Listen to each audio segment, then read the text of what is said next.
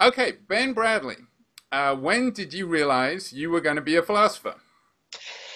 Well, uh, so I guess like most people, I had no idea what philosophy was until I got to college.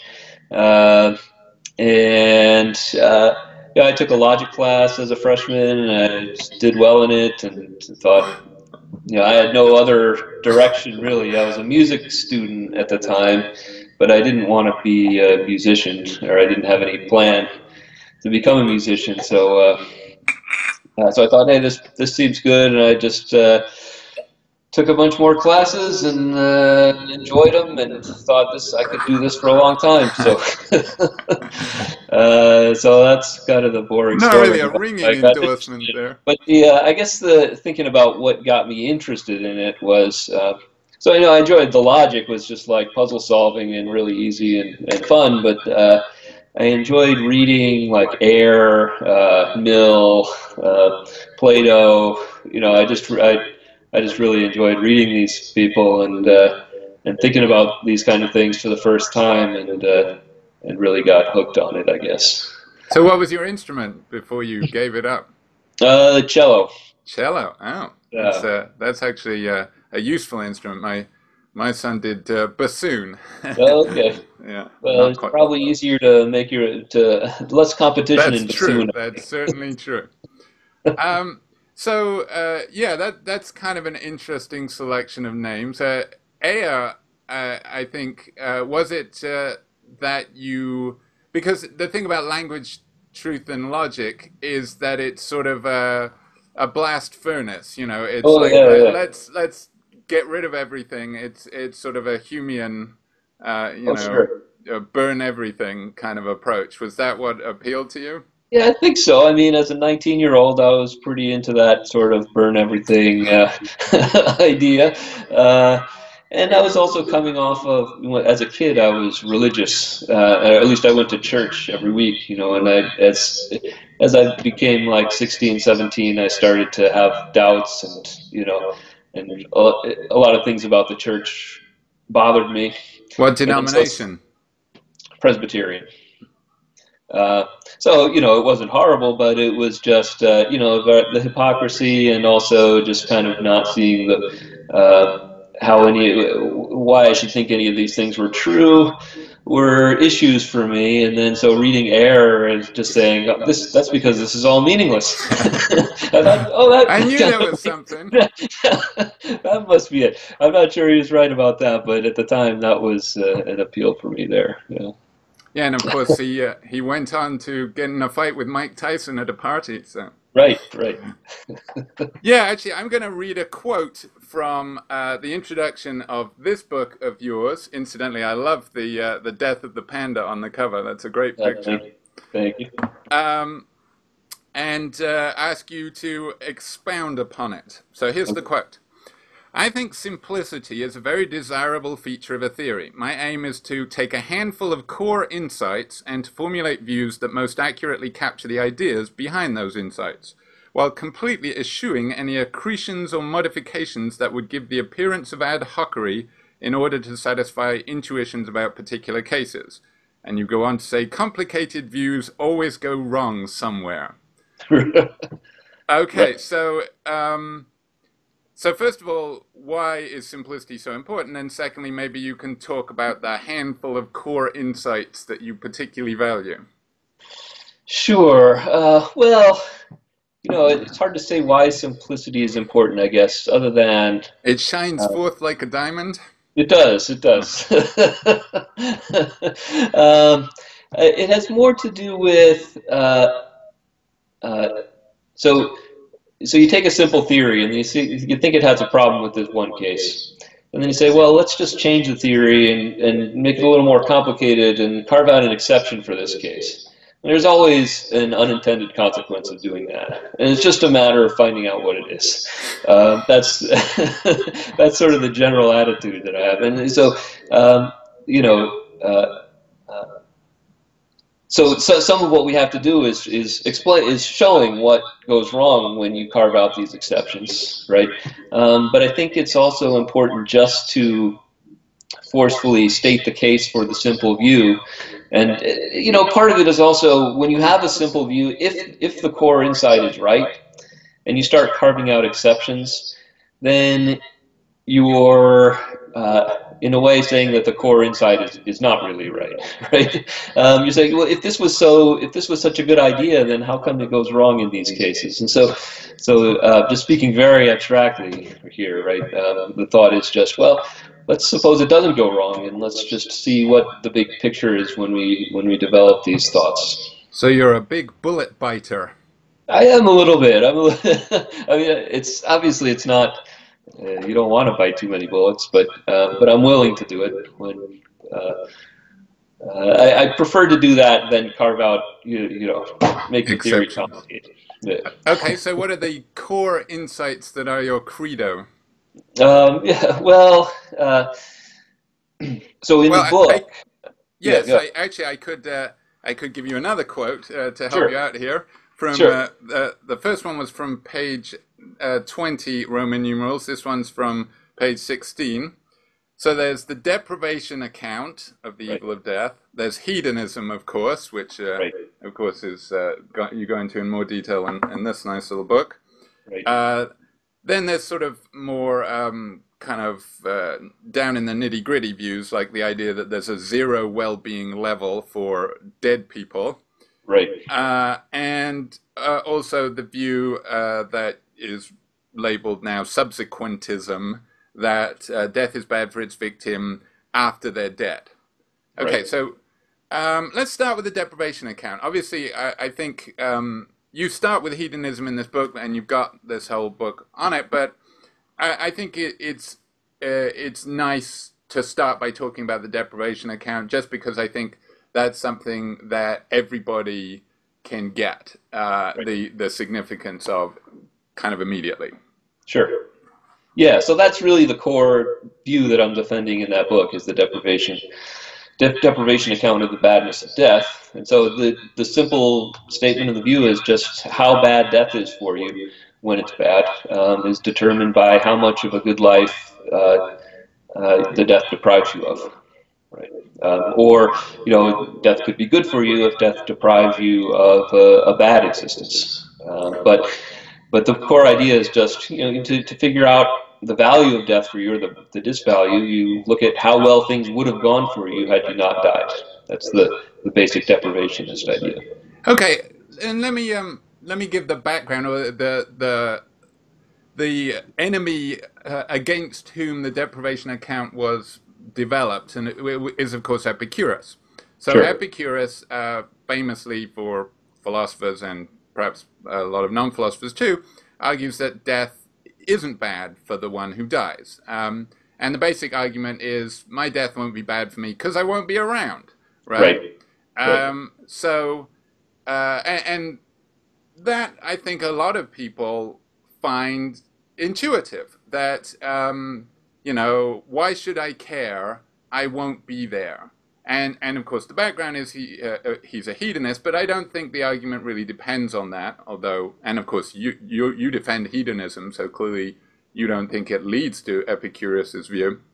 Right. Um, but uh, the essential idea is look, suffering I have to experience, and harm is suffering, and I can't experience it if I don't exist. So, you know, chill. Don't, don't worry about death and, of course, his follower Lucretius later says, look, we don't care about the time before we existed. We don't lie awake at night thinking, I wasn't around, you know, to, to see World War One or something. Uh, man, you know, that's terrible. My non-existence eats away at me. My, my pre-birth uh, non-existence eats away at me. And Lucretius says, well, that doesn't bother us, so we should have the same view about our post-death non-existence. It just should be nothing to us. Right. Now, the deprivation account, um, how does that respond to that? Yeah, good. So, um, so first, I should say, I mean, there's there's a way in which Epicurus is right, right, and that is uh, when you're dead, on on the, on, on my view and, and most uh, and materialist views, right, um, you don't exist anymore.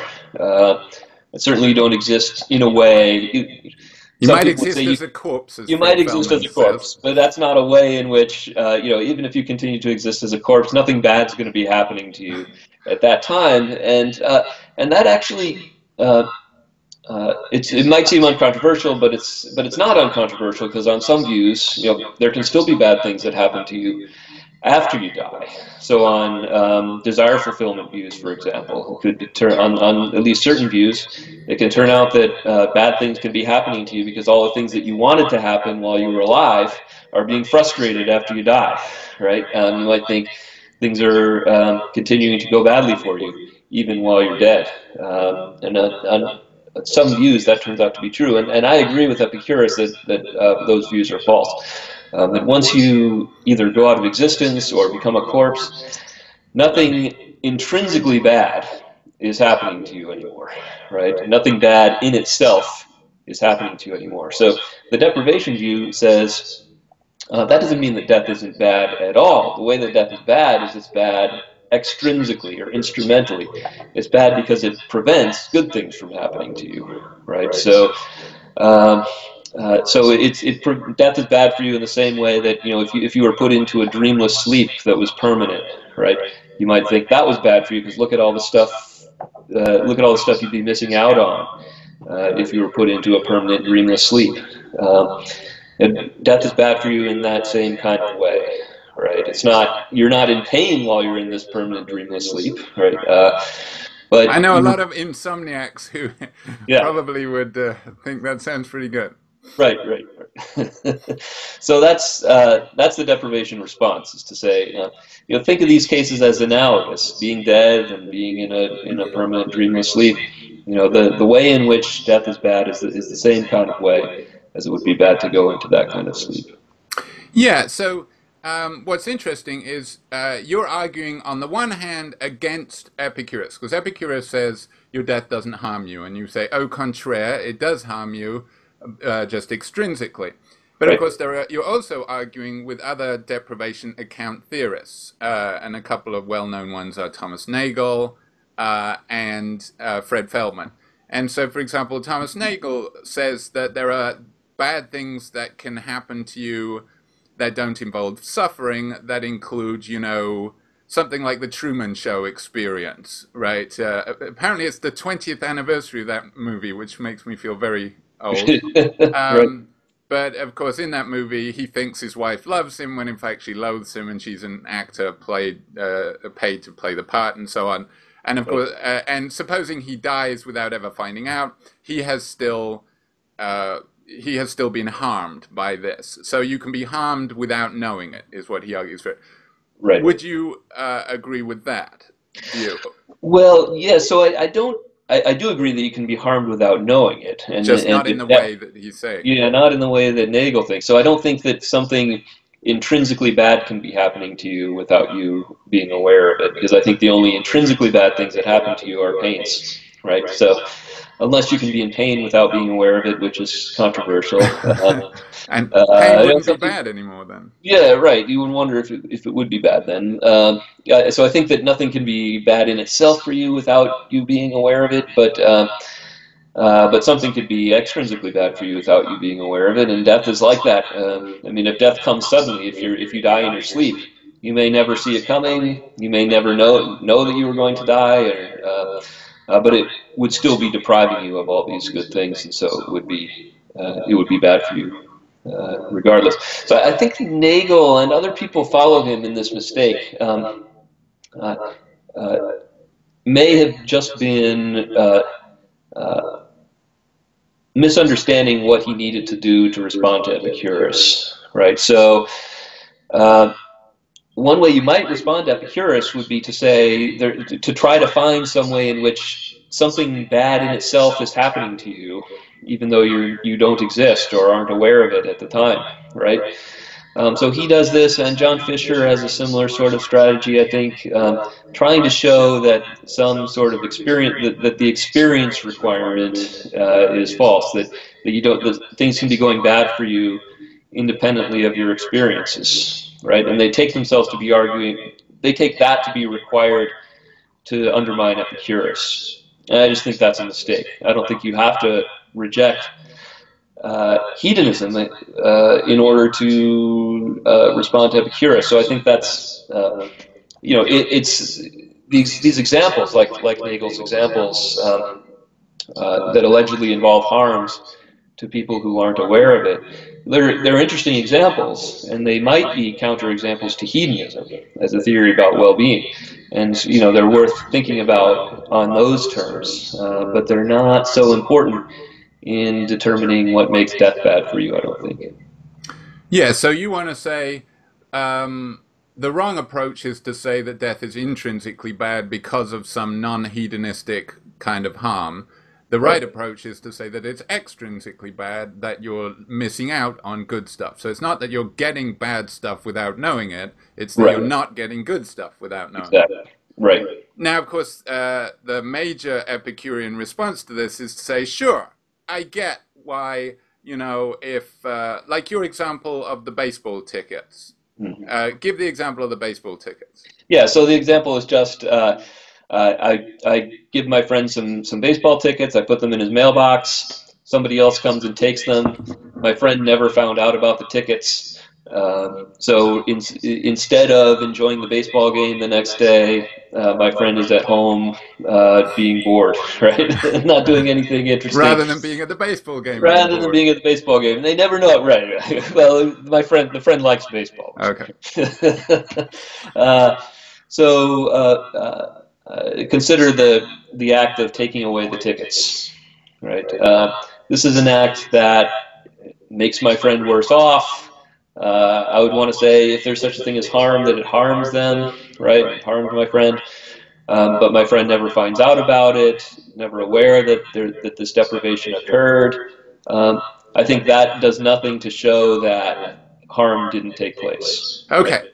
So um, what what's important in that example is that it can you can have harm without ever finding out about it because um, what one way I think uh, because um, Nagel's example of you know people slandering you behind your back, you know people your loved one being unfaithful, that kind of thing, harms you. And I think what an Epicurean can say is, insofar as that's intuitively appealing, and insofar as that makes sense to us, it's because we always envisage the person finding out about it, right? Yeah, that later on, that. that. that you know they are harmed when they're revealed, which indeed is why you know in introductory classes when people talk about utilitarianism, they say lying to your gran on her deathbed is okay because right. it would be cruel to her to reveal I I never I threw away all your sweaters or whatever you know yeah. when, after you gave them to me and I always hated your cat. You know, they would just be bad, and it's it's better that they never know.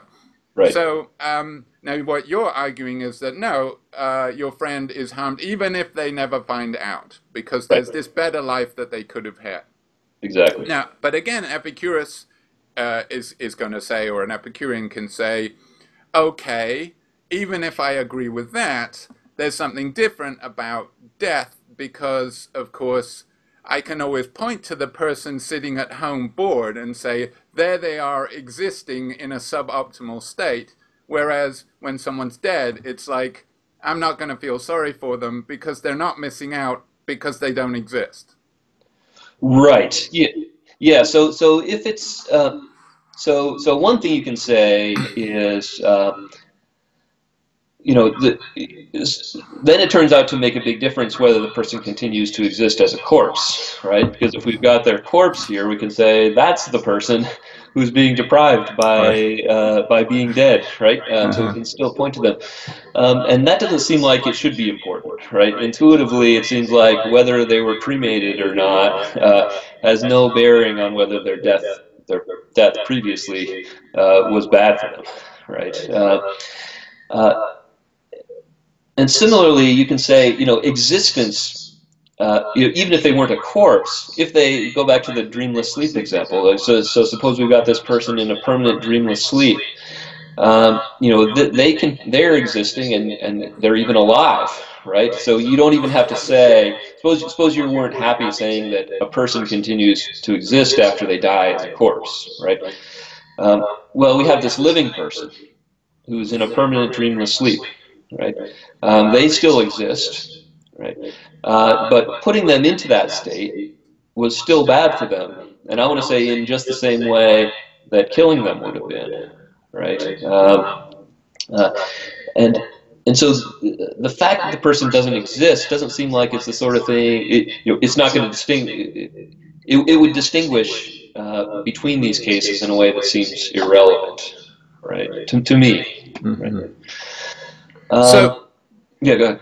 Well, so um, I think the dreamless sleep example, you'd want to know. Well, do you destroy their capacities to, mm-hmm. uh, or, or uh, so in other words, do you take their brain and take their cortex and put it in a blender, but their brainstem uh, continues to keep their body alive, or are they just you know like uh, Snow White or every Disney princess at some point in their story, you know, placed into yeah. a slumber that could last forever? Right. So, so you might you might think it makes a difference whether they um, they you could poke them and wake them up. uh, uh, that you might think they're they're not in as bad a shape as somebody who uh, doesn't exist. Does, doesn't exist, right? Right. right. Um, yeah. Uh, I guess um, I think I want to resist that. So, so if we're saying, uh, you know, if, if the person's put into the, this dreamless sleep, and it's determined that they cannot wake up, right? So, you know, we've we've encased them in something that uh, uh, keeps them alive but prevents anybody from waking them up. Um, um, I think there's just nothing good happening for them, and they're they might as well be dead in that case. Um, uh, and you it might be that we're thinking you'd, you'd still rather be in that situation than be dead because you think, well, maybe there's a chance, right? so they might not there's a chance. They Another Jim Carrey movie. yeah. um, yeah, I mean, I think it would be much less controversial. For example, we'll get later to your argument about how uh, dead people have a well-being level of zero rather than no well-being level at all. I think a lot more people would be willing to say that the person in the dreamless sleep has a well-being level of zero sure. than the dead person. Right, right. Uh, so it seems like there there is an intuitive difference, even if you, you want to make the case that uh, there isn't a real difference, or that the Epicurean certainly shouldn't see a difference.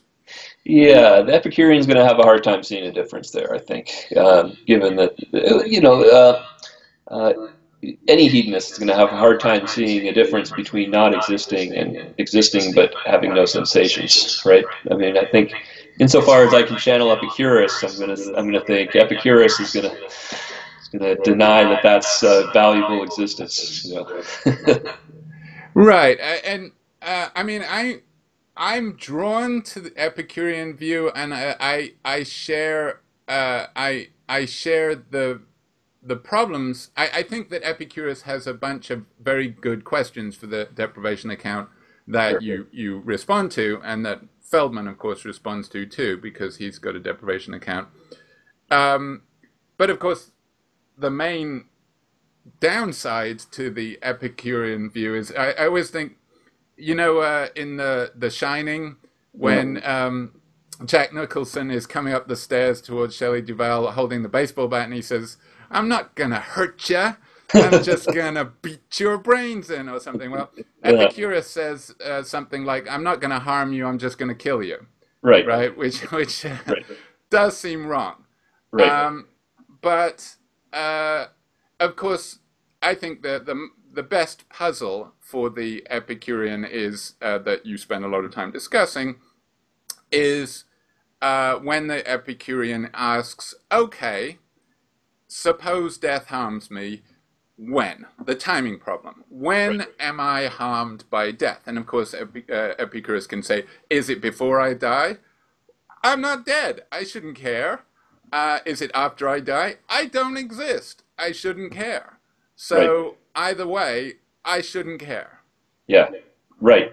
Yeah, so I think this is a great problem too, and uh, uh, the so the, the the the response that I favor is uh, the zero well-being uh, response that you mentioned earlier. So so what I want to say is so. So what the way I interpret Epicurus's challenge is to, or the, or the, the question is, uh, at what time am I worse off for being dead than I would have been had I not been dead? Right? Uh, I think that's the that's the way of, of stating the question that makes it clear you know what you have to what what an answer involves, right? Um, so some people have said, well, this is what's led some people to say, well, actually, it does harm you before you die, right? Um, it it harmed you at the times that you had various projects or were um, interested in various things, right? And that your death will later deprive you of, right? So your death kind of retroactively harms you at those previous times when you had these desires or plans or projects that end up getting frustrated by your death. Um, and as a hedonist, I can't be happy with that response. I also, I also, don't find it very intuitive to say that somebody was retroactively harmed in that yeah, way. Yeah, I mean, it's uh, like you, you see the giant boulder about to squish you, and you think, man, I'm suffering back there in the past right now. right, right, right. I feel sorry for that guy because he's about to lose out right. I get squished right now. Right, right. Um, yeah, that that seems wrong. Uh, so what I want to say, uh, I, I want to say the mo- what I take to be the most straightforward thing about the case, which is, yes, at these later times after you die, you are worse off than you would have been uh, had you been alive right? And in particular, at the times that you would have been enjoying yourself, right? At the, at the times that you would have been having a good life, those are the times that you're worse off for having died. Yeah, uh, and I do know people who get sad on the birthdays of their deceased loved ones. Yeah. And, and by your view, that kind of makes sense because they would have been having a good birthday and getting presents. Right, right. This is a yeah. particularly bad time for my gran who died two years ago. right, right. Uh, it's now, yeah. It, it's not. It's not like they're suffering now, but yeah, they're they're. This is a time when their death really makes a difference to how to how things went for them. Right. It, it makes a difference at the times that they would have been enjoying themselves at their grandkids' graduations or whatever. You know, those are the times when they really are worse worse off. So, but obviously, the the the thing that a lot of people are unhappy with with this response is that means, you know, in order for you to be worse off at a time after you have died, you have to have a well-being level at that time. Right. Um, there has to be some comparison that we're making between, you know, how well off you would have been at that time and how well off you actually are at that time while you're dead and let's say don't exist, right? Um, so what I want to say is that you continue to have a well-being level of zero at times when you don't exist, right? Uh, and so this is the thing that people find weird. So it violates what people have called the no no well-being without being thesis. Right? uh, you can't have a well-being if you don't have being. Uh, but what I want to say is that there is somebody, we can still identify an individual who has that well-being level at that time. It's just not somebody who exists at that time, right? It's the person who existed in the past. So arguably this might commit me to eternalism, which is the view that uh, non-present things exist. Right. So, so right now, uh, uh, right now, Socrates doesn't exist, right? But timelessly, Socrates exists because Socrates exists at this time in the past, right? And so, about a dead person, what we say is, you know, even though this person doesn't exist now, they do exist in this timeless sense, right? And by existing in this timeless sense, we can attribute things to them at this time, right? We can say of them that they're that they have a zero well-being level at this time. That's the basic idea. Right, uh, uh, which is an illustration of how one can be led to metaphysical views uh, about all kinds of things by yeah. starting with a problem somewhere else in philosophy. Like sure. suddenly yeah. we're talking about you know the ontology of time right. and you know presentism versus eternalism. Right. So, uh, like, yes, as you say, uh, eternalism is the view that you know uh, uh time is like space. Just right. because things are over there and I can't see them doesn't mean they don't exist. And just because the dinosaurs are back in a few million years ago doesn't mean they don't exist. Right. Um, and and this starts from worrying about a puzzle about death, uh, right. which is which is in, interesting in itself. Now. Um, uh, yes, let's say a little bit about some of the um, implications of your view.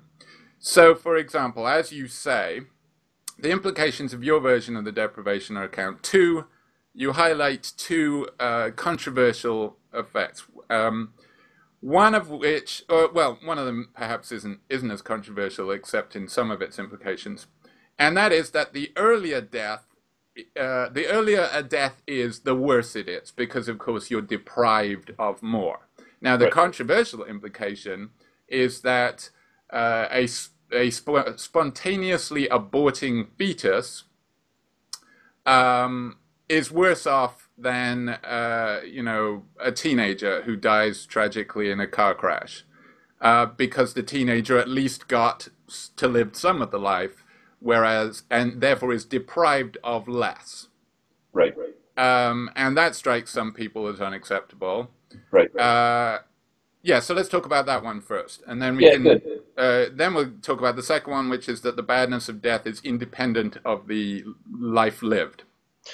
Right. Sure. So. So yeah. So. So the very early deaths are uh, are controversial, right? What what should we say about very early deaths, deaths of embryos or fetuses? You know, are those the worst deaths? Are those the most harmful deaths? And the deprivation account entails that they are, as long as it's the same individual, as long as the the embryo is deprived of is the, the individual being deprived of this future, right?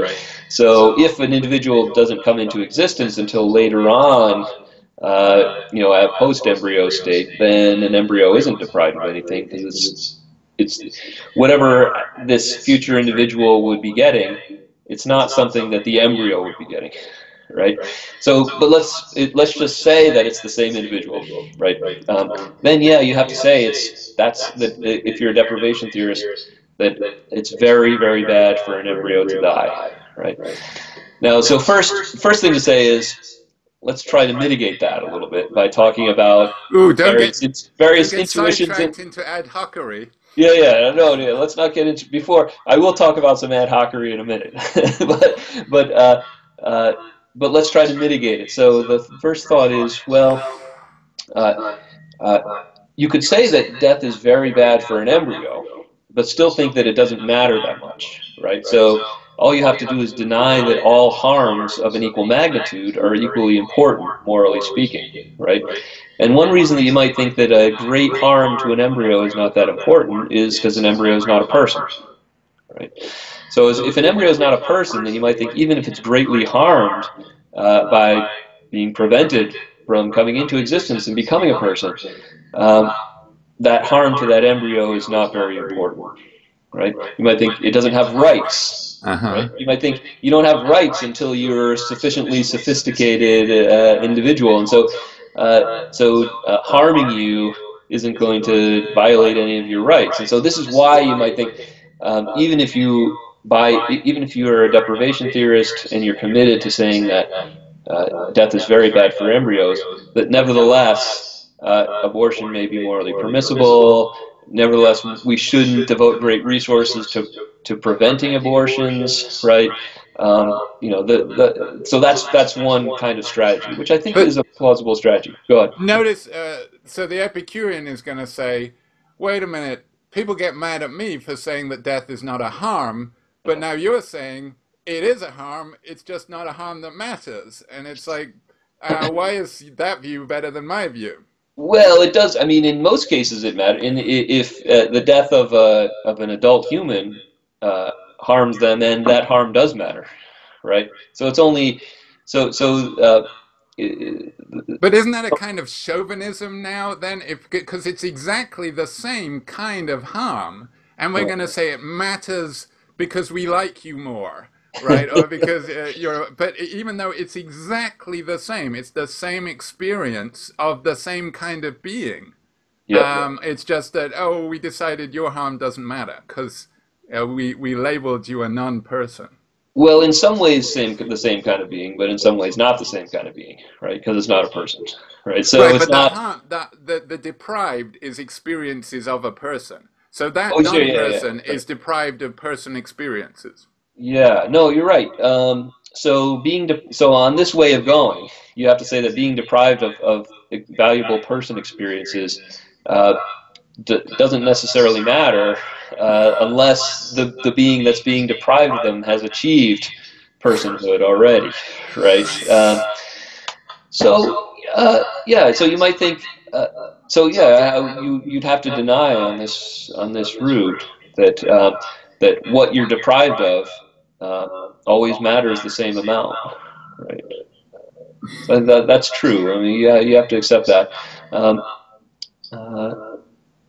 I, I, I guess one wants to know how you get around that problem, right? I mean, everybody's got issues in this area when some when uh, individuals come into existence, right? Um, you're going to have to say something different about an individual at this stage and at this stage, um, almost no matter what view you have, right? Yeah, and uh, here's the way I understand the deprivation account, uh, mainly from reading uh, originally because the first time I came across it was reading Fred Feldman's book Confrontations with the Reaper, which is another very nice introduction. I mean, your your book is a very nice introduction, um, and that one is too. Um, and uh, the way I get, I understand it is, as he says, because one of the Epicurean puzzles that both of you uh, appear to have uh, come up with a, a, plausible response to is um, the Epicurean says, "How can you say uh, it's worse because you're you're comparing the experiences of a live person and the experiences of a dead person and saying that one is worse and, and one of them doesn't exist. And uh, the way Feldman put it is, is no, it's not a life to death comparison, it's a life to life comparison. And right. you're comparing short life because dies here to long life because uh, with the doesn't lie. And clearly this one's better. And in fact, we can see that this is the amount you're deprived of. So in fact, this life, uh, uh, this life is bad precisely to this extent because right. this is what you missed out on. Now, right. what non philosophy students are going to say is, but wait a minute, this never happened. This is fantasy. Uh-huh. Okay, so y- you can make any shit up you want. I mean, uh, so why why are you allowed to do that, you philosophers? Yeah. At which point we start talking about possible worlds. Right. Right. And, and what we say is, well, there's the nearest possible world uh, at which this doesn't happen, and on that possible world, uh, I, you know, I live this long. But once you start doing that, you can start doing about well, there's a very near possible world in which, um, you know, uh, this different sperm meets this egg, and there's a whole different person, and that whole different person has a good life that they don't have ever on our our world, and if we can say that uh, a, a being on our world suffers because they don't have this, why can't we say that somebody who never comes into existence on our world, the, the sperm and egg pairing that never happens, that does happen on this near possible world, why can't we say that there that that is a person with an uh, with a, a you know well-being level of zero, and there's all these people that never came into existence that are harmed on our actual Earth? Yeah. So so uh, so I think this is a great question, and uh, there are different things that you can say, and I'm not sure what the best thing is to say. But one thought is just to say something just like what I just said, which is to say, yeah. Um, as a matter of fact, so so so. We'll call this the, the really extreme view, and I, I defend this view very briefly in, a, in another paper. But so so not only do the dead have level well-being levels of zero. But um, all these merely possible people who never actually exist have actual well-being levels of zero. Right? Let's give zeros to everybody. Right? That's the extreme view. It's like the end of term uh, exam. Yes, zeros all around. Uh, so. Uh, so on this, so on this way of thinking about things, you'd say, yeah, um, this merely possible person who didn't get brought into existence has that actual well-being level of zero and would have had this great well-being had they been brought into existence. And so they're much worse off. So it's bad for them that they didn't get brought into existence. But since they don't exist, they don't have any rights. They're not actually people. So you treat them just like you treat the embryo, right? Um, that's that's one way of going. Is just to say, yeah, there are all there are all these harms, and uh, and thankfully, 99% um, uh, of them we can ignore because they're all happening to individuals that don't have any any rights, any personhood, any moral status at all, right? Because they don't don't actually exist. That's that's got the that's an extreme way of going, right? that, uh, that's biting a large bullet. Um, the uh, this, this, strikes me. I, I shouldn't say the word ironic because I know it's being misused, but uh, in the way that uh, uh, it's understood these days, uh, it is a little ironic that you end up defending, for example, hedonism and, and, as Epicurus and modern Epicureans like the utilitarians do. Yeah. And then you're drawn to this view finally, well, but morality has to be about rights so that we can uh-huh. discount so that we can discount uh, harms and say that some harms and and you know harm and wrong not the same thing. You know something can be morally wrong uh, and involve harm, and something uh, can be morally wrong without involving harm and something can involve harm and not be morally wrong. So it's like, whereas it do, doesn't it seem like one of the appeals of uh, you know hedonism and things like that is we can that'll tell us things about what is right and wrong. Whereas now you're saying, uh, okay, this being gets deprived of, of this kind of life and it's not wrong, or it's not something we should care about, and then this being gets deprived of exactly the same thing, and suddenly it's important. Yeah. No, uh, uh, I mean, so this is one way in which uh, this is an area where I have to struggle to kind of keep apart what I actually think and what I need to argue for the sake of of, of making this point. And right. so, you know, I am I am skeptical about rights. Um, but I do think that um, even if we don't think that there are any rights, really, if we if, suppose suppose we we want to go uh, the utilitarian say there aren't any rights. Um, you still might want to say that there is such a thing as moral status, right? There are individuals that there are individuals that we have to care about, and they're the ones that uh, that can enjoy themselves, right? And there are other individuals that can't enjoy themselves or experience pain. They're not sentient, and so we don't have to worry about them. And maybe they have a kind of well-being but it's not going to be a kind of like the well-being of a computer or a car or something. Uh-huh. they can't enjoy themselves. So, so you still have to make some kind of distinction in this neighborhood between the individuals that, that, that matter and the individuals that don't. Even if you're a full-blown hedonistic utilitarian, right? You know who can't enjoy themselves? Who's Dead that? people. That is true. That is true. yes, right, right. Okay. Um, so yeah. yeah. So uh, yeah, so you do. If you uh, so your argument that abortion, uh, abortion causes the causes more harm than killing a teenager. That's your that's the view that the deprivation account that you defend is committed to. But yeah. you want to argue that it's not necessarily therefore wrong, and in fact, you you would very much not want to say that abortion is more wrong than killing a teenager. Right. And Although I do have, I yeah, I should say that. I, I, so lately, I've been trying to work on a, a, a different kind of view, right? Okay. So I'll, which I'll just throw it out there for you and see cool. if you like that even even better. Breaking news. Uh, yeah. So so it's not uh, uh, completely original, but um, but the thought is. Uh, so here's a general thought that motivates this way of thinking, right? So what is it about embryos that might make us think that that they're not harmed by being killed. And one thought is uh, we're not really sure whether they're really subjects of harm yet. We're not really sure whether they're the sort of thing that can be harmed or benefited in the same way that an adult person can be harmed or benefited. And there are other other cases where we have a similar sort of ambivalence or uh, you know, uh, where we're we're not sure what to say. Like like my plant, I've got a plant over here, right? So, would my plant be harmed by being, it, you know, if I if I ripped it up out of the roots and threw it out the window? Well, you might think, yeah, kind of. I mean, in the way that plants can be harmed, it, it would be harmed. You know, it would die if you did that. Um, but uh, but would it really be harmed in the same way that a, that a person is harmed?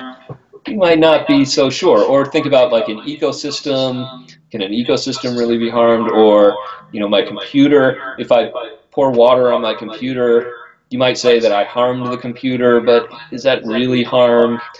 So there, I think there are a lot of these borderline cases where we think, I'm not really sure what to say about whether this individual was harmed uh, at least in a way that matters morally, right? Uh, was there was there moral harm done here, especially with a computer? You think no, harming the computer harms me because I want to use the computer, right? But it doesn't. The computer itself is not really the, the sort of thing that can be harmed. So yes. so so the thought is. Uh, there's something that maybe comes in degrees here, or at least there's some vagueness. And the thing that that, that is subject to this vagueness is being a subject of well-being, right? Being a subject of benefit or harm. There's a scale, right? Uh, where a, a, you know you've got adult humans over here who clearly can be subjects of harm, who clearly have well-being, and then over here you've got uh, computers that, that, that it seems pretty clearly can't in their in their current state, right? Or let's say um, uh, simple plants, right? That you might think that, that, those definitely can't be. And then maybe over here you got worms and you know and so on until and the, but there's going to be a spectrum. Right? So the thought is that as human beings develop, they develop from something that is definitely not a subject of well-being into something that definitely is a subject of well-being, and it's a gradual development, right? So there are different things that you might want to say here, uh, and people have said similar things about personhood, right? People somehow gradually develop into being a person. I don't want to talk about personhood because I think that's a, it's a loaded term, and I think talking about subjects of well-being is really the thing that, that's important when we're thinking about harm right? Because non-persons can be harmed, I think, right? Um, so one thought is uh, you might try to develop a view according to which the extent to which you're harmed is determined not just by what you're deprived of, but also by the extent to which you are, at the time, a subject of harm, right? or subject of well-being. And so the thought would be, uh, when you're figuring out how much an embryo is harmed, one factor is how much are they deprived of, which is a lot, right? And another factor is to what extent are they a subject of well-being, which you might think is a very small degree. So you might, so one, one way to go would be you multiply these things. You know, this maybe this we have this individual that's a, a well-being subject to degree 0.01. And so you multiply the extent of the well-being by uh, uh, the extent of the deprivation by the degree to which it's a well-being subject. And so then you get a, a lower harms, a, lower amount of harm that's suffered by the individual, right? Okay, but then again, my my point is that dead people have no capability of suffering. So you would uh, right. either that would destroy your deprivation account because you would say, okay, that they're they're being harmed, but because they are totally incapable of feeling harm at this point, you know, it's discounted to zero. Or you would have to say, no, the relevant individual is the, the individual that survives on this other possible world, and because that being has uh, the ca capacity of uh, feeling harm, then the then we can use you know the adult human being uh, factor to multiply. Yeah, so actually my thought is that you look at the past person, right? So this individual dies. Um, to what extent is their death a harm? Well, the thought is you look at to what extent were they a well-being subject, right? Okay. If they were a full well, if they were a full well-being subject, then you don't discount the the badness of their death at all, right? But if they never were, then they, if or if they only ever reached a, a minimal degree of, of being a well-being subject, then they might then their death would get discounted. Okay. uh, I, anyway, I, am just kind of exploring that. I don't yeah, know how I no. feel about it yet, but that's I, I, I feel like that's a way of that's a way that's at least motivated by a core insight about this vagueness of attributing well-being subjecthood to individuals, right? of course, uh, you know, I can imagine there's some anti-abortion activists who are saying, "Why are you trying so hard? Right, right, know, just yeah. accept that abortion is horrific." Right, right. Uh, that, uh, Good. I mean, that's yeah. yeah right. Um, yeah. Now, um, uh, Jeff McMahan thinks he's got a different way of uh, explaining why the teenager's death is uh, bad and the uh, fetus's death is not bad. Why don't you like his way? Well, so one reason uh, has Perhaps to you do could with say what it is first. yeah. So so yeah, good. So so that's not easy to do, but I'll, I'll do my Right. best. So so That's so, why I made you do it. Yes, right. So McMahan, uh, McMahan's view uh, is called the time relative interests account of, of the badness of death. And uh, McMahan's thought is uh, to figure out how bad someone's death is, one thing that's relevant is how much they're deprived of, right? How much good stuff they're deprived of. But the other thing that's relevant is what would have been the psychological connection, the degree of psychological connectedness between the individual at the time that they died and the individual as they would have been had they not died at these later times when they would have been enjoying the good stuff right?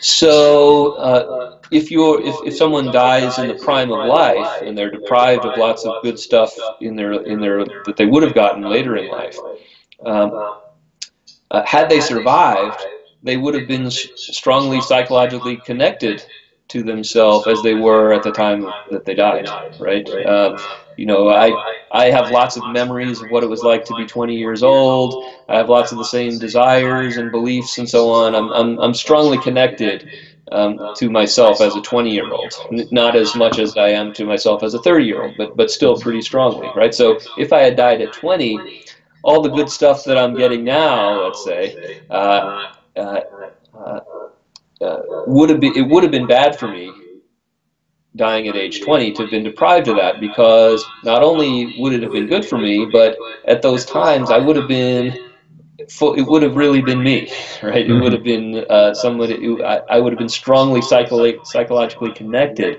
to my past self at that time. Whereas uh, i can't remember anything from when i was two years old right? So if i had died at age two although i would have been deprived of all this good stuff later in life um, uh, the badness of being deprived of all that is discounted by the fact that my two-year-old self and my 46-year-old self are not psychologically connected at all really i mean there's no overlap there's no there's no memories there's no desires i you know there's no uh, There's repressed memories. there could be, there could be, there could be, right, right. Uh, that's the next interview.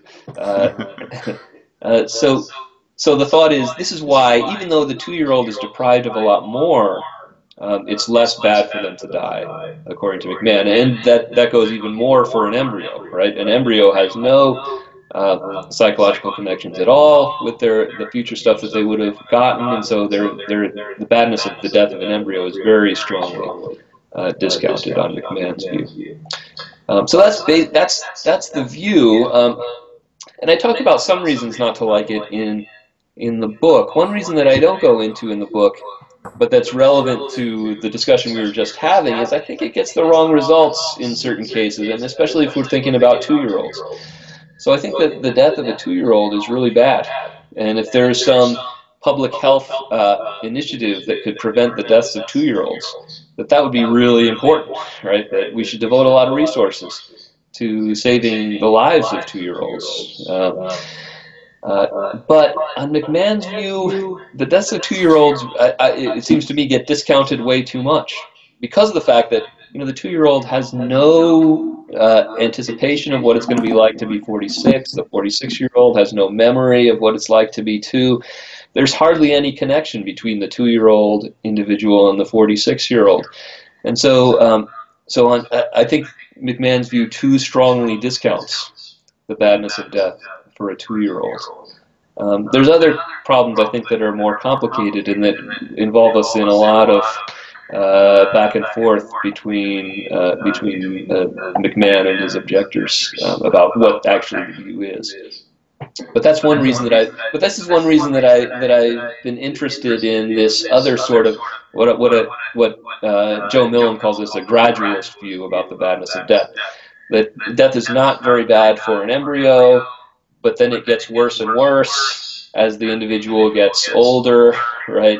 And uh, rather than on the, uh, as on the deprivation account, death is very bad at the very first moment of existence, and then gets slowly less and less bad, right? On the gradualist view, death gets slowly worse and worse as the individual develops, right? Um, and so the view that I was sketching earlier is supposed to be a competitor to McMahan's view. If you like this gradualist idea that um, that death gets slowly worse as you develop. Yeah, another thought about deprivation accounts, um, and yours in particular, is that uh, the badness of death seems to be relative to um, the time, uh, the, the technological sophistication of the time you live. So, right. for example, we have longer uh, lifespans now, and let's suppose they fix aging to such an extent that we can continue to exist for hundreds of years. Yeah. yeah. Um, it's like in the Lord of the Rings when an elf dies, right? Right. right. Uh, they're losing up. They're losing a, a, a, whole lot more than a hobbit uh, yeah. does. Yeah. Um, so the death of someone, assuming we survive the current presidency, and things get better, uh, and technology continues to advance, um, the death of some future person is going to be they're going to be harmed a lot more by an early death than we would. Yeah. Yeah. Right. Is that yeah, I think that's true. Um, and I think when I think about the, and that's exactly the sort of thing that I think about in those scenes in The Lord of the Rings when, when elves die.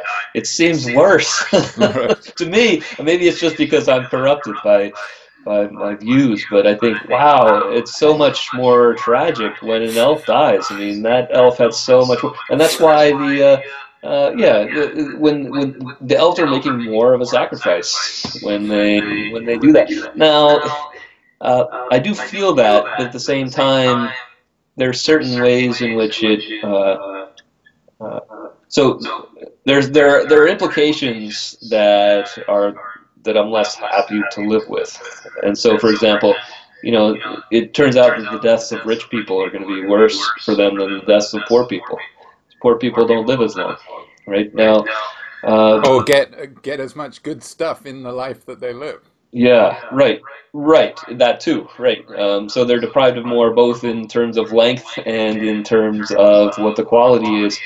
Uh, uh, so what do you say about that? I mean, this is this is. I, I think that this is just another uh, facet of the injustice. Is the way that I prefer to think about it. Is that uh, it's a luxury to have uh, to, to be someone for whom death is so much worse than continuing to live. Uh, You're lucky your death is so bad for you. Yeah, exactly. Exactly. Um, yeah. Okay. So we've already so the the views about when uh, the responses to the timing puzzle have nice names.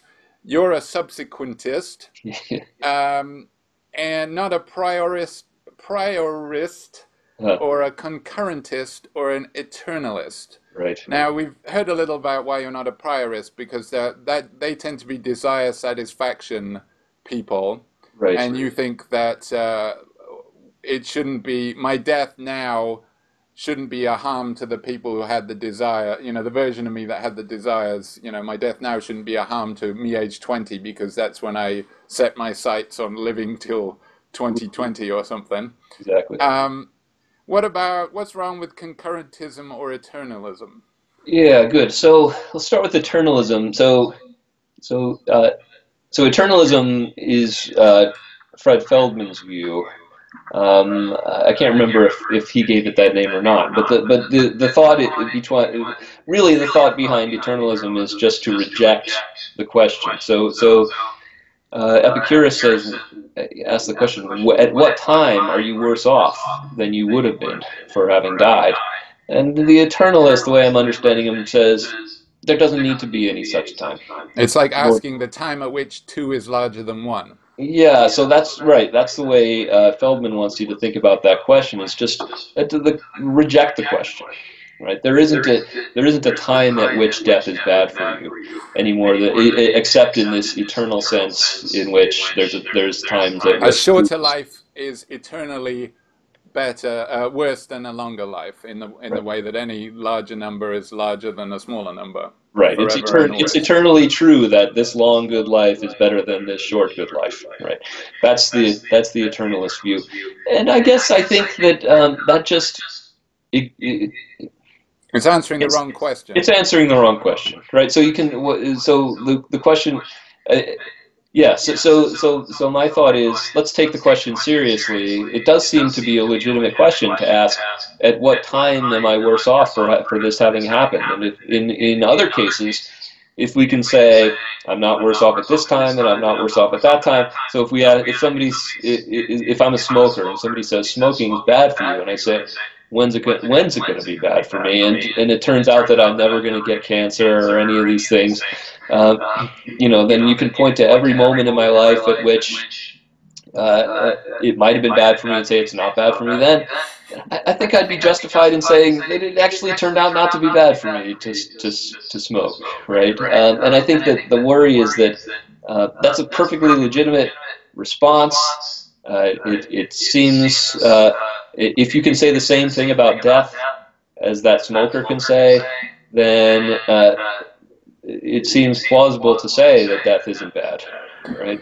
Uh, yeah, I mean, my my um, objection to eternalism, uh, I think gets gets to why what is right about Epicurus, and that is, here's how I think we should understand Epicurus, and that says, telling us why we shouldn't care about death. Mm-hmm. And I think that actually still applies in your case, because I could say, uh, it certainly it applies in to the eternalist, because if it's always bad for me, then I should never care. It makes no more sense to care as it gets closer. Uh, you know, as I'm about to die, I shouldn't start say, "Oh shit," because you know it was it was bad when I was a kid, and and you know it was miles away. So I should never care about it. Mm. Um, but that also seems true on your version of the deprivation account. Because if it's bad after I die, hey, that's nothing to me. Uh, right. Yeah. So, so the thought is, grant grant that death is bad for you. Uh, there's a, uh, you know, um, uh, when when should you feel bad about?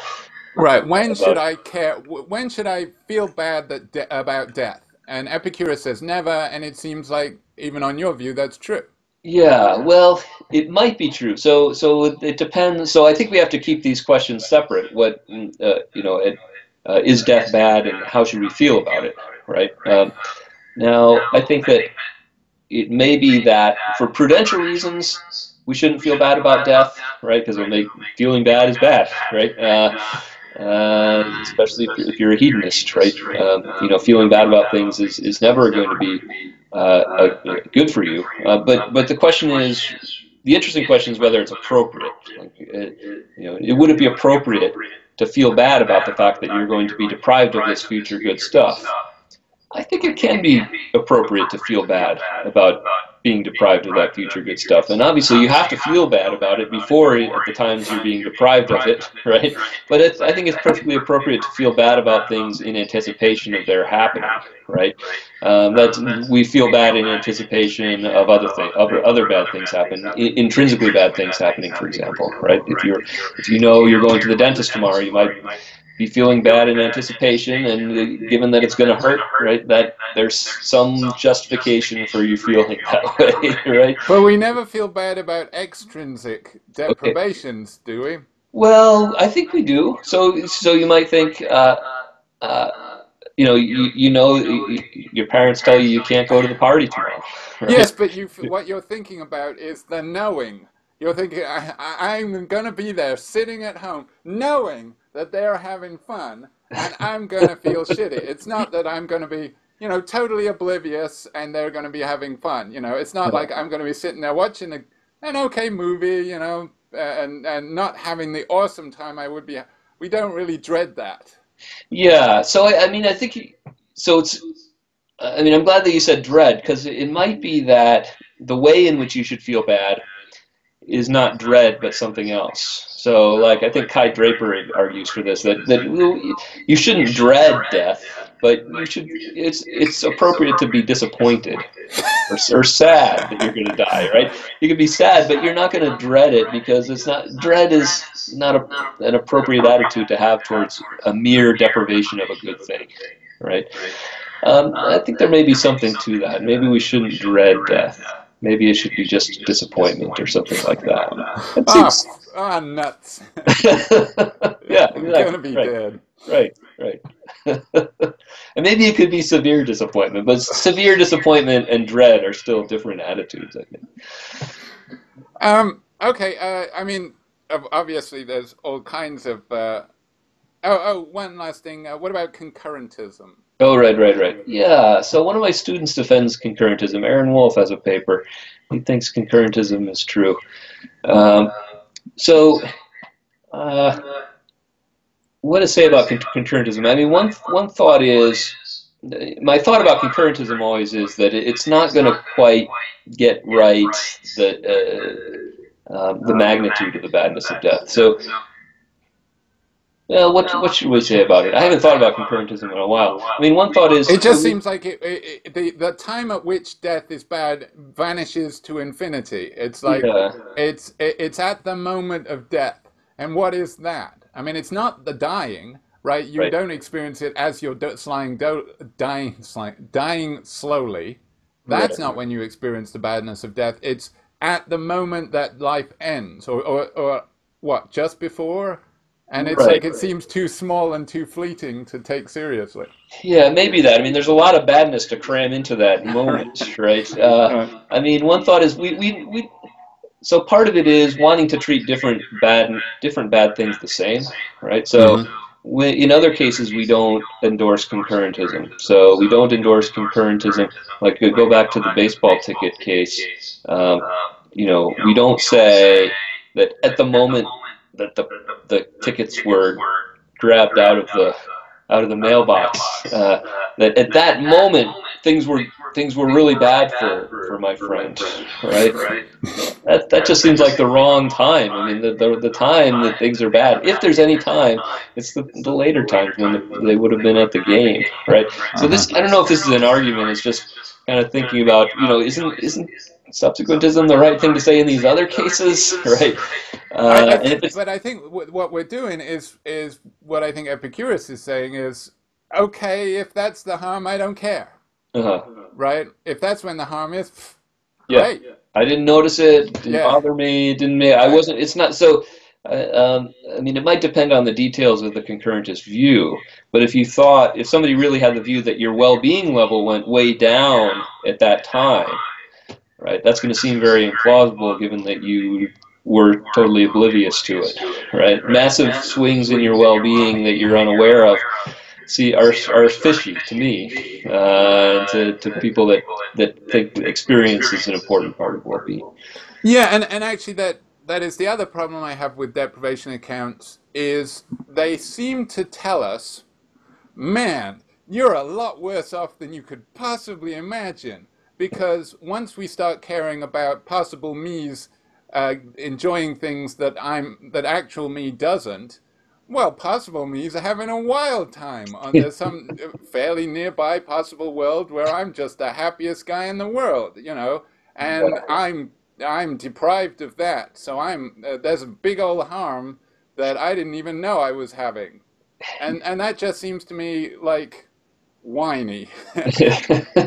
yeah, right, right. But I mean, of course, you also have to say there's all these nearby yous that are having a horrible time, and so uh, you know there's going to be a, you can probably put them in a one-to-one correspondence. So, uh, uh, so so it's, it's well, but you could say that about death because, uh, you know, don't worry about your death because in this other life they keep you alive and torture you. Right, right, right. So this is where it's important to that. Um, uh, this is where counterfactuals turn out to be important, right? So, um, so if there's no fact of the matter about what would have happened, or even what would have been likely to have happened had you not died when you did, if there's just all these things that might have happened, and we can't say anything about their likelihood or anything, um, then I think the deprivation account falls apart, right? Um, there's no that every death is going to be equally good or bad as any other, right?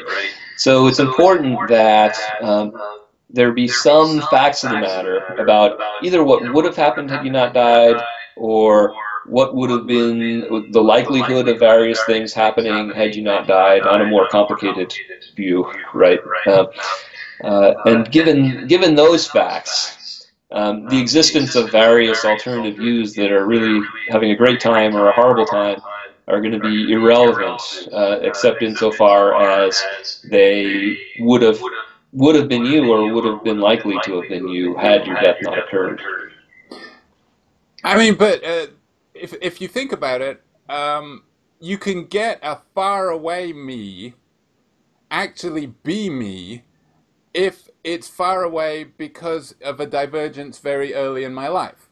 So, for example, um, something if something had happened in utero, then I would have become the emperor of the world. It's still connected to me because so then I can say, boy, it re- I was really harmed by that in utero thing because because that happened in utero. I was sent down this path that leads me, you know, to this life instead of being the path that would have led to me being, you know, emperor of the world or whatever. Right. Right. I think that's the right thing to say. I mean, that just strikes me as right. Right. So, some, so the worst yeah. things it, that happen to you happen to you at the very earliest moments, even well, if you don't die. I mean, if give, given given the story that you just told, that's true. Now, because I, because that that's going to lead to the the widest possible divergence. Because yeah, once a I, few facts are settled about me, then you know once you know I was out in the world, there, there was very little chance of me becoming emperor of the world. Or yeah, you know. yeah. Well, well, I think uh, I think the the earlier on you go and talk about what would happen if there this little change was made to this embryo, um, the less plausible it's going to be uh, to assert any counterfactual about what would have happened had that change been made or not been made, right? So, uh, is it true or not that if this little change had been made to the embryo, that this individual would become emperor of the world? Well, uh, I mean, I've seen plausible sounding arguments from from Alan Hajek that uh, uh, that all the all counterfactuals are false, but but even uh, these seem especially likely to be false. Like it, it, maybe so. So the best you could say is, if this had happened, then maybe you would have become the emperor. What's the likelihood that you would have become the emperor? Very small, right? Mm-hmm. Given how many other things would have had to have happened in the meantime for that to happen, right? Uh, so, uh, so I think that uh, those in utero events. Uh, uh, see, seem unlikely to have a big. It, it seems it's unlikely that we're going to be able to point to some in utero event and say that was really good for you or that was really bad for you. The best we're going to be able to say is it might have been. There's a chance that that in, in utero event was really bad for you, um, but. I don't think we can say anything more than that. And so I, I think maybe that takes some of the sting. That would take some of the sting out of the out of the thought. Um, can we say that, or can we say we just don't know?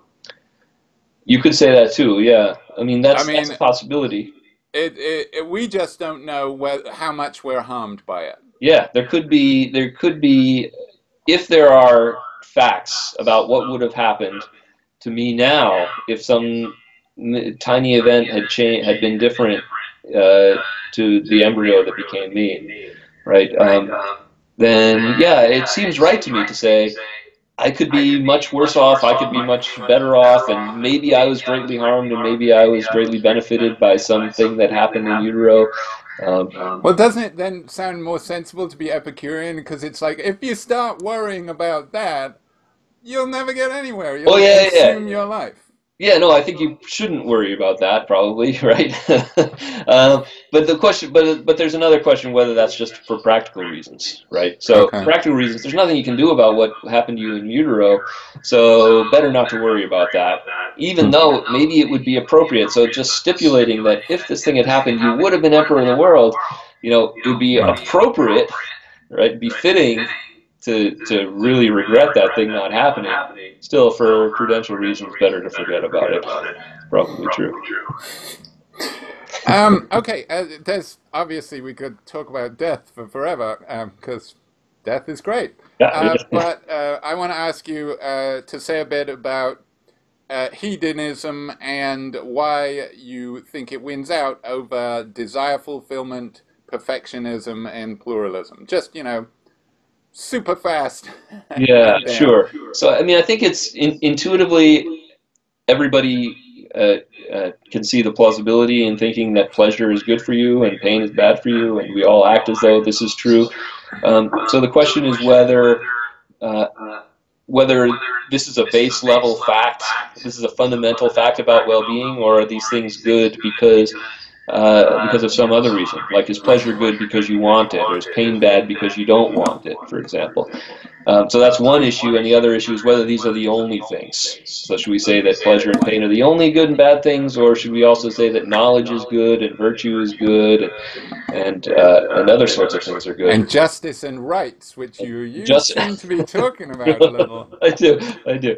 Uh, yeah, but they're not good for you. I don't think it's good for you to have right. So so I think it's important. So when we're talking about theories of well-being, we're only talking about what's good for you, and you might think that there are things that are good, like justice uh, but think that justice isn't intrinsically good for individuals, right? It's just good. It's good for the world when there's justice, but it's not good, uh, inherently good for any of the individuals. Uh, but uh, uh, so that's why when you look at when people have objective lists of objective list theories of what's of well-being, um, justice is not usually on the list. It's knowledge, virtue, uh, achievement, uh, those sorts of things get on there. The things that are happening to the individual, right? Um, so. Uh, so I have a couple arguments that are kind of technical arguments in the in the book, and one of them has to do with the paradox. Uh, the paradox is a fun a paradox of desire fulfillment, but it actually applies to many views. Um, and the paradox is suppose you have somebody who desires that their life go badly, and just stipulate that that's their only desire. Um, we run into a paradox because suppose the desire is satisfied, right? Then, on, then that means that uh, the object of the desire is true, namely that their life went badly, right? But it also and their life goes well. But their life goes well on the view because their desire was satisfied, right? Um, so if it goes well, then it doesn't go well, and if it doesn't go well, then it does go well. So this is a paradox. Uh, and uh, there are things that you can say to try to get around this paradox if you're a desire fulfillment theorist, but the, the view, the, the paradox is going to arise on, on other kinds of views, true, too. So if you think that true belief is is good for you, then you might think, you, suppose you truly believe that your life is going badly, then you have a true, and that's your only belief, right? Then uh, if your life is going badly, then it's not going badly, and so on, right? So, um, and since true belief is is essential to knowledge, then that's going to the, the, view that knowledge is uh, a, a, constituent of well-being is going to be affected by this paradox too, right? Uh, pleasure, hedonism doesn't have this paradox, so I, I, think that's a nice thing about hedonism. You don't have to try to solve this paradox. I mean, uh, of course, there is a famous paradox associated with hedonism, but it's a different right. kind of paradox. Perhaps mention that. Right. Yeah. So the paradox of hedonism uh, is the view that it was uh, uh, the paradox is uh, pursuing pleasure doesn't seem to be the best way of getting pleasure. I think that's what people usually refer to as a paradox of hedonism. So, so the best way to be happy is to think about things other than happiness, right? Uh, pursue knowledge and friendship and so on. That's the best way to be happy. But if you think about being happy, then you're not going to be happy, right? It's it's a different kind of it's kind of a practical paradox, right?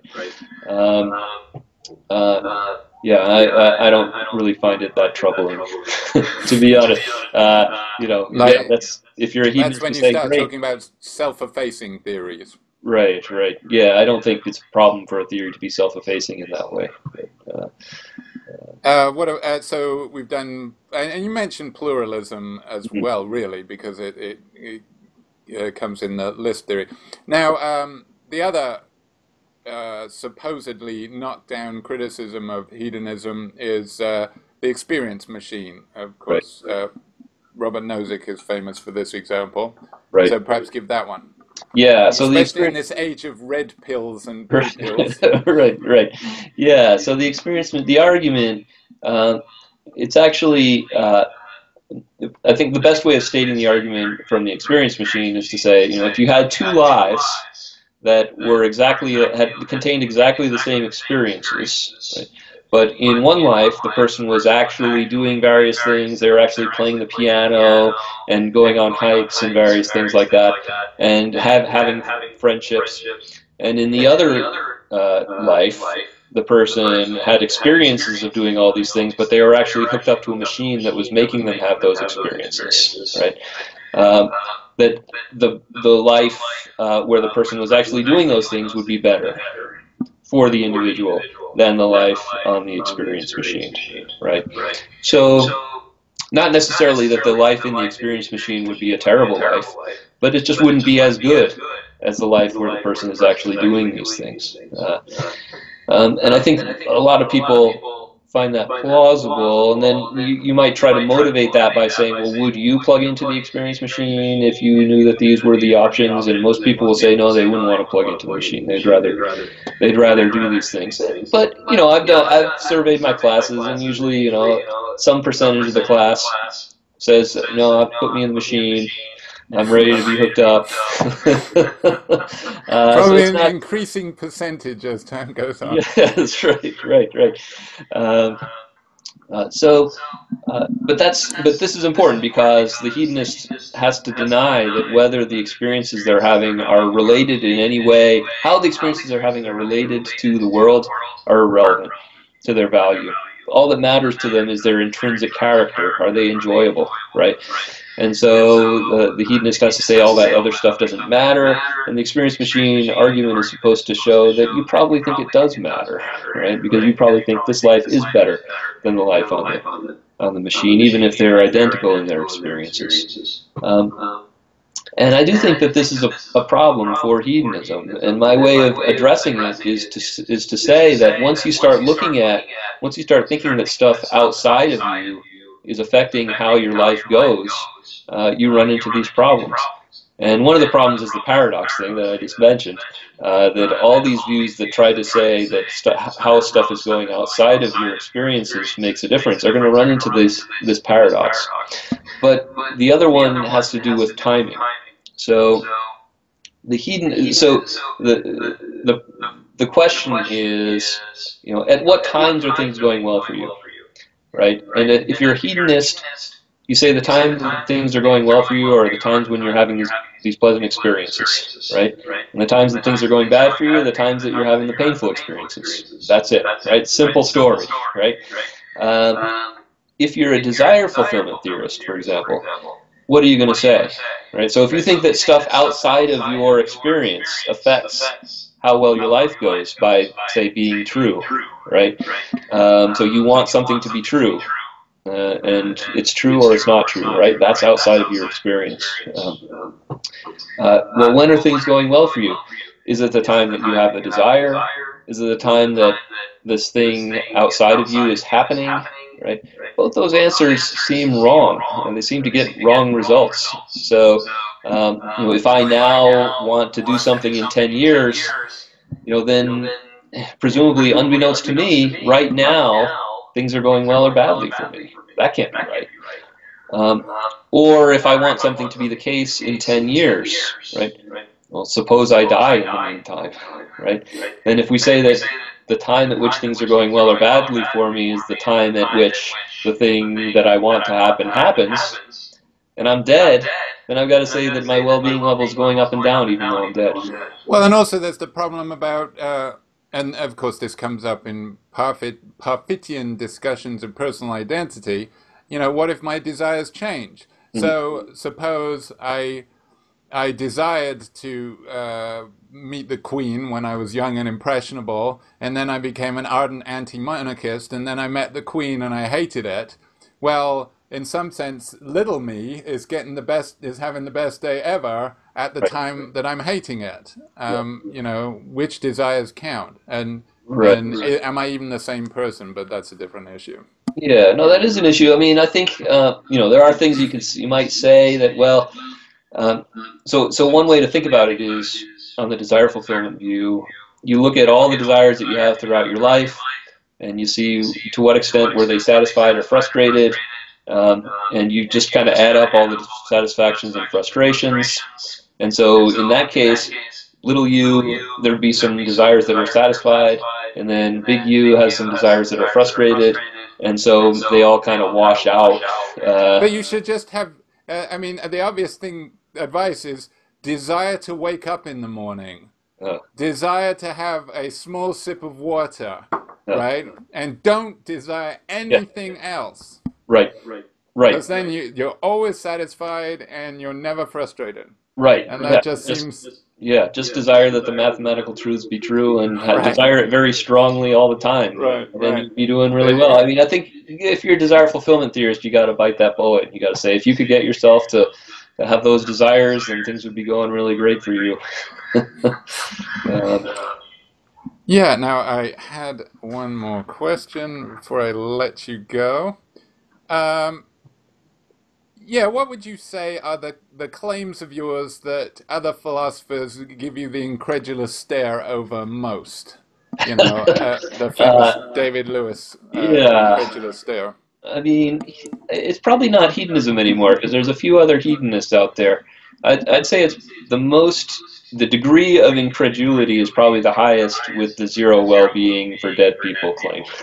Uh, so some people will say, "Oh yeah, that that that seems right. Yeah, that's good," and other people just look at you like, "What are you? You cannot be serious. You're those. Uh, uh, that's probably the biggest incredulous stare that I get." Yeah. So. Um, it's good to have that because otherwise you're not standing for something. That's you're right. That's right. Obvious stuff. People will remember you if you say that that wacky right. you gotta, you gotta, you gotta find the golden mean though, because you don't want to, don't want to go too far. That's right. Um, okay, here's a question I ask everybody: uh, What do you think is the value of philosophy in the contemporary world? Yeah, good question. So. Um, uh, I think there's value. So, so what I've noticed in the last few years is that there's uh, uh, uh, there are scenarios where people are relying on philosophical views without necessarily either being aware that they're doing so or without being aware that there are alternatives. And one of the areas is that it relates to death, and that is uh, in public health.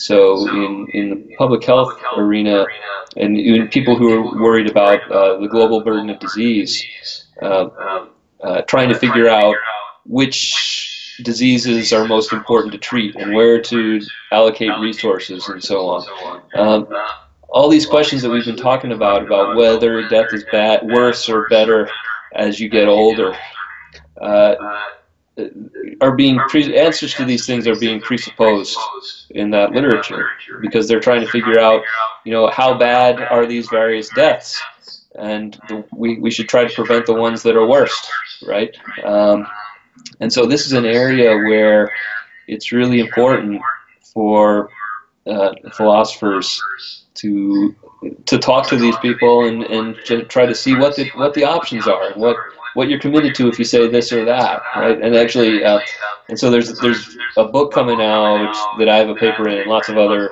people you've heard of have papers in called. Uh, it's, it, it, it, it's gone through different titles. So it's called something like "Saving People from the Harm of Death," uh, and where where uh, philosophers and social scientists are, are addressing these kinds of issues. Um, so that's one, just an example of a kind of uh, case where uh, it's important. Uh, what philosophers are doing is important for, for things that are being done and has potential has important implications. Yeah, my first undergraduate professor had an aphorism that I think is a good one. I don't know where he got it from. It's uh, well, it has, like all aphorisms, it's good and it's bad, but it, he said philosophy is not about answering questions, it's about questioning answers. Mm-hmm. And I do think that that's a an important philosophical skill is to at least recognize your uh, embedded assumptions. Right. Uh, and it does seem that too often people think that certain things are just the way of the world, like capitalism is just true. You know, that's that that's facts, and then you have these other theories right. that are clearly just theories. Whereas when we can just go back to the truth, or and libertarianism seems alarmingly popular. At least some kind of bastard version of it that would make Nozick, uh, you know, turn in his grave. He he is because he could still be alive, so he's still suffering. yeah. he's still being harmed. Yeah. Um, you know, uh, and it's and also you see online people saying, well, you know, feminists. I, I use logic to just dispel these feminists, and it's Right. like, I don't think that word means what you think it means. Right. Yeah. No, I think in all these areas it's important, and uh, uh, uh, it's yeah, no, as as important as ever, I guess. Uh, so you're not a Wittgensteinian who who tries to uh, dissuade his most his most brilliant pupils from. Uh, you know, tries to persuade them to become car mechanics and things like that. no, I mean I think it's great to be if the, if people want to become car mechanics, but that doesn't doesn't preclude you from also having some philosophical training. I mean, I think it's it's important for everybody to have some degree of philosophical training to be able to uh, get along in the world, and it, it's, So it's not. philosophy and the art of motorcycle maintenance. Yeah. Right. Okay, well, thank you very much for agreeing to do this, Ben. It was very pleasurable, and I wish, uh, I mean, one of the, the tragedies of this is that you could carry on forever, but people are only going to watch the first 10 minutes. so- Right, right. That's That's fine. you If anybody's still here, it. Yeah, if you're glad still you- here, you made it through. the good stuff. All right. Uh, yeah, so uh, maybe do it again sometime. Absolutely. Yeah. Thank you very much. Thanks, Ben. All right. Thank. Bye. Bye.